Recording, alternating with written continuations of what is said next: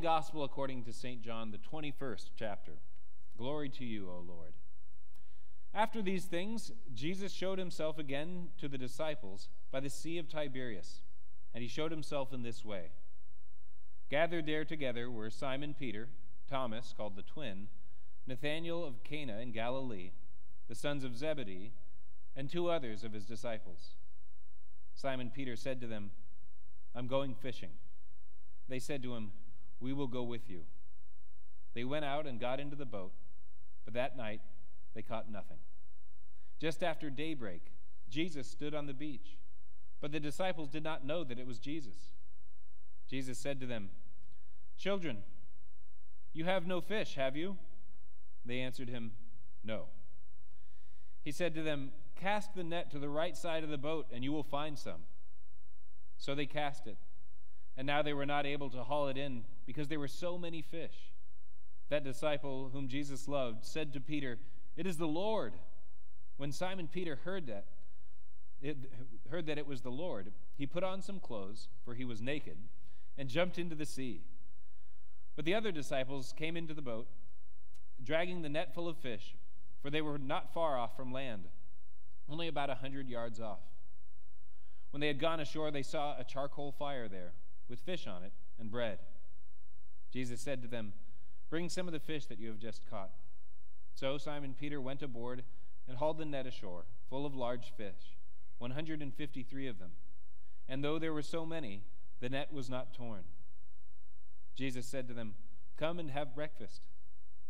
Now none of the disciples dared to ask him, Who are you? because they knew it was the Lord. Jesus came and took the bread and gave it to them and did the same with the fish. Now, this was the third time that Jesus appeared to the disciples after he was raised from the dead. When they had finished breakfast, Jesus said to Simon Peter, Simon, son of John, do you love me more than these? He said to him, Yes, Lord, you know that I love you. Jesus said to him, Feed my lambs. A second time he said to him, Simon, son of John, do you love me? He said to him, Yes, Lord, you know that I love you. Jesus said to him, Tend my sheep. He said to him the third time, Simon, son of John, do you love me? Peter felt hurt because he said to him the third time, Do you love me? And he said to him, Lord, you know everything. You know that I love you. Jesus said to him, Feed my sheep. Very truly, I tell you, when you were younger, you used to fasten your own belt and go wherever you wished. But when you grow old, you will stretch out your hands, and someone else will fasten a belt around you and take you where you do not wish to go. He said this to indicate the t- kind of death by which he would glorify God. After this, he said to him, Follow me. This is the gospel of the Lord. Praise to you, O Christ. Please be seated. And now may the words of my mouth and the meditations of my heart be acceptable in thy sight, my Lord, my rock, and my Redeemer. Amen. All right. I have a question for you. What is the story of your life about? We communicate always through stories. That's what we do. If I were to ask you, tell me about how your day has been right? You have to tell me a story in order to explain how your day has gone. In order to uh, understand complex ideas, so often we read books which tell us stories about those complex ideas. We watch movies which tell us with images and stories what it is that uh, the, the authors wish to convey to us. All of our learning is bound up in stories and even our self understanding, who we believe ourselves to be, we have to tell through a story. Because it's not simply enough to say, well, uh, hey, I'm Kevin McClain. And uh, that's true, by the way, of me, not you. Uh, but unless you got the same name, and that's pretty cool. So, um, but you are not simply encapsulated with a name. It's not enough to say who you are and what you're like. And to describe the things that you've done and, the places that you've been is not enough to d- describe who you are. But your life must be told in a story. How do you tell that story to yourself? And what is it about? Where do you imagine that you're at in that story? This is important because how you understand that story, what you imagine it to be, will define your life. And that, that, friends, is a sacred thing. It's something that God Himself believes is His work and not yours to define your life. And even He will use a story. We can see this very, very clearly today that our Lord writes a better story than we do. This uh, passage in Scripture, it doesn't seem like much. It is, uh, in a sense, Peter getting out of trouble, right? Peter has denied the Lord three times. The Lord uh, was crucified, and then we've heard of this resurrection. And now Jesus is appearing to people. And this is changing everything. It's changing the way that they understood the world that they lived in, their lives, the significance of everything that came before. It's writing a new ending. Because just a few days prior, they were willing to say, it was all for nothing. And for many of us, we get to places in our lives that because of our sin or our failures, because of the way that we've lived up into now, we're ready to write off our lives as well. We're ready, we're ready to say, hey, you know what? This is this might be my story, but it's not a great story. There's no excitement left in my story. There's no hope left in my story. And what I am today, well, it's all downhill from here. And so all of the peak, all of the excitement has come before. But to believe that is to believe that God is finished with you. To believe that the work that God has hoped to accomplish in and through and to and for you is done. It's completed. And it may be true that your forgiveness has been completed in Christ Jesus, but you are here as a living testimony to the work of God. Now, most people want to write a story in a particular way. They want to tell the story of their lives uh, in something that we would call a linear progression. That I started off down here. I was uh, cold and naked and screaming, and uh, there were some people who helped me, but eventually it just got better and better. That throughout my life I was educated and I grew and I stayed healthy and things went well and I got a job and that job led to another job and led to another job which led to retirement and before too long uh, it looks like a Corona commercial. That this is what we all hope for in some way. That our, that our life story is somewhat uneventful. We all know what the Corona thing is. Like, it's good you may not like beer, but we all like the idea of being warm, especially uh, in the late winter uh, and having our feet in the sand. I'm not saying it's the worst thing that you could want, but it isn't a very exciting story, is it? I mean, if that were your story today, maybe today would be looking up, right? But if you were to say, well, what did you do with the rest of your life? Well, I just sat down and it was warm, and so I stayed there.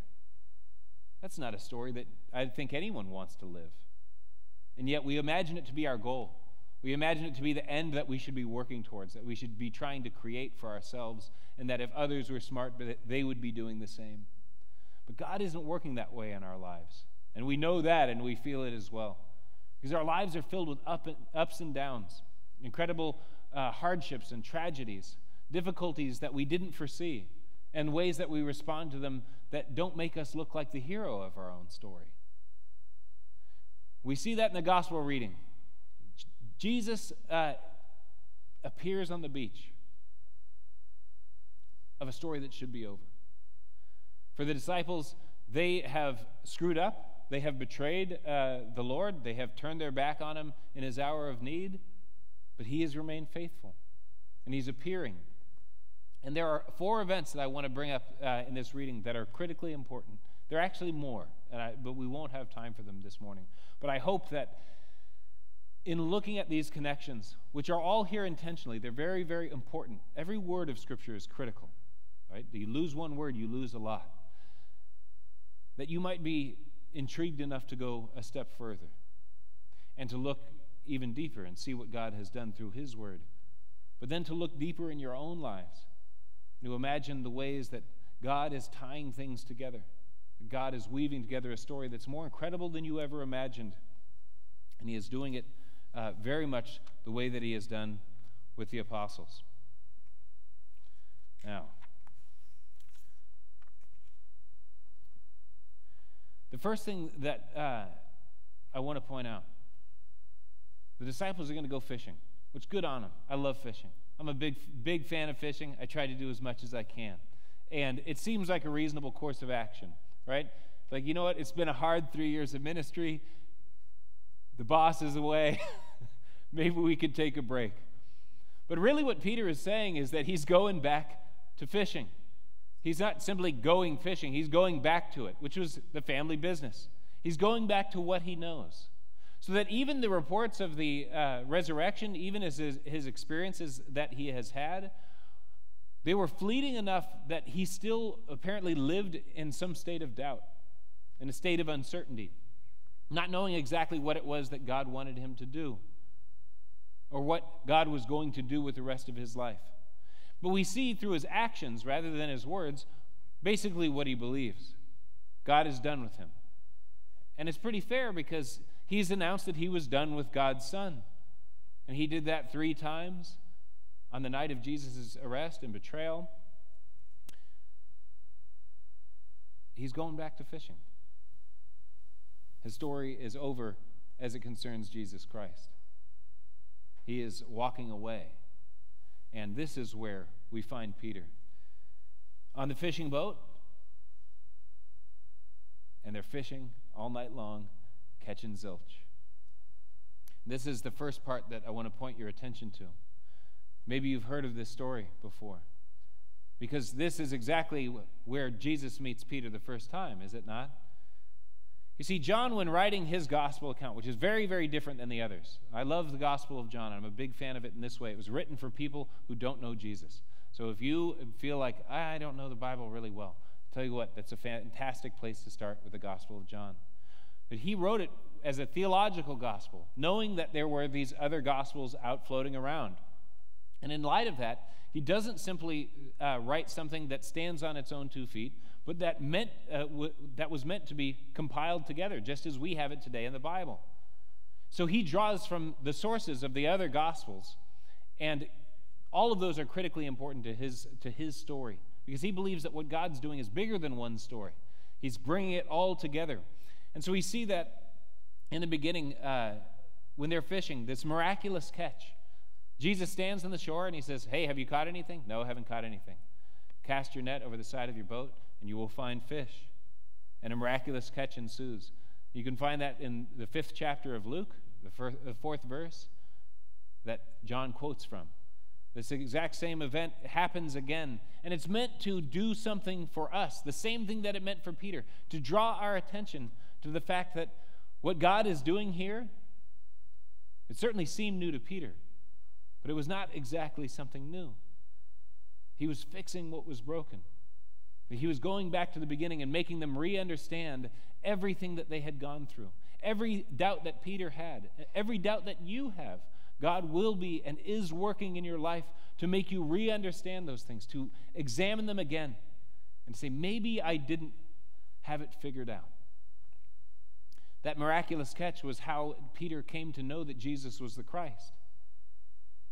Now they're hauling in the nets, of course. And a very strange things happen happens in this. And I'm always surprised that in church everyone is so well behaved that no one chuckles, not even once. Because they're out fishing and it says that John says, "It's the Lord." And the first thing that Peter does is what? Puts his clothes on for he was naked. And like I've never gone fishing like that with my buddies.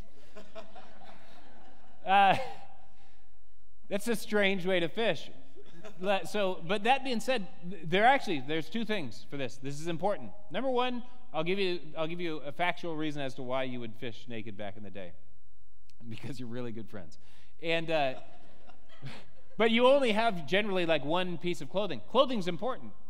Clothing's important, and uh, and at the end of the day, you don't want to smell like a fish. So you're going to take that stuff off and then work in your underoos, and uh, and yeah, you're going to need to throw it back on afterwards. But the last time that we see Peter, and all of these things that, that we're going to be examining that point us to Peter's denials of Jesus, is in the Gospel of Mark, which is dictated to a fellow named John Mark by Peter. And Peter uses uh, a, a, technique that we see in John all the time, where he speaks about himself without drawing attention to him. And he says this that after cutting off the ear of the servant Malchus in the Garden of Gethsemane as Jesus is being taken captive,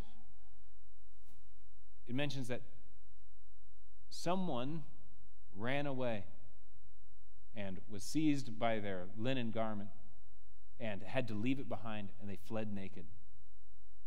And that person is Peter. That this whole story begins with the naked Peter uh, who is doing everything he can to get away from Jesus as fast as possible. This is why when he comes back and he is going to be accepted uh, later uh, in uh, the residence of Caiaphas, he thinks probably that he can get away with it. Because it's like, hey, didn't you just chop the ear off of that guy that you're standing next to? No, no, no, different guy. He was wearing a white cloak. I'm wearing an off white cloak. I suppose that must have been the rationale. But once he is clothed again, the next place that we see him is where? Around a charcoal fire. There's only two charcoal fires in the Bible uh, this one and the one that he denied Jesus around three times. That comes uh, from the 18th chapter of John. Everything in Peter's life, from the moment that he met Jesus, is being tied together into this moment because this moment will define who Peter is. This moment changes everything, and it becomes the, the center of the story of his life. I'm sure, like you and I, he imagined that it would be the best parts, that it would be the Mount of Transfiguration that defined Peter. Like, ah, I knew the answer when they asked. I'm sure that he imagined that it would be the best things that he had to do for God, the most important things that he had to offer his friends or his family. Um, these things would define who he was. But they weren't. Instead, all of these things, all of his shame, all of his mistakes, all of his cowardice was all being tied back together by God in Christ, and for a very important reason. You see, when he makes it to shore, he's gathered around that same fire, that same special kind of fire where he denies Christ, and Christ asks him three times, Do you love me? And he says this, this is hidden in the language, and so I don't like speaking Greek, um, but it's important. Do you love me more than these? And there's questions about what these are. But I imagine that he's pointing to a, the best that his life could have been miraculous catches of fish, surrounded by his friends, doing the work that he was born, in a sense, to do. Do you love me more than all of this? Is this really the life that you want? Well, he asks you the same question as well. Is this really the life that you want? Do you imagine that everything that God has given to this point is everything that He desires to give? And is this the life that you want to continue to live and to be a part of? He asks uh, that using this word Do you agape? Do you love by acting? Will you go back to it? No, I love you, Lord. He asks again Do you love me? Do you agape me? Will you love me through your actions? Will you do what I want you to do? And he says, Yes.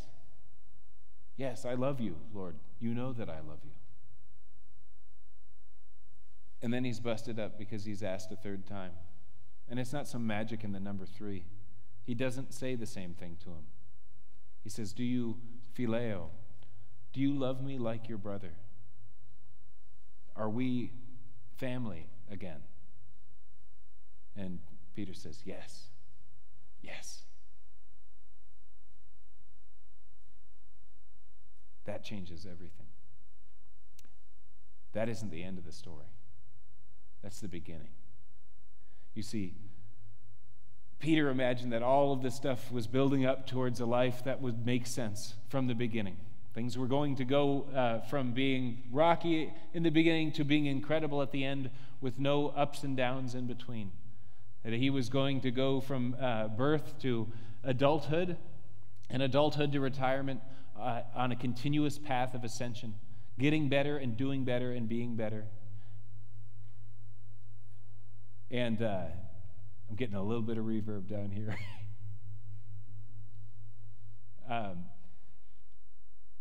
but instead, the worst parts of his life are brought into new focus and meaning as he encounters Christ in redemption.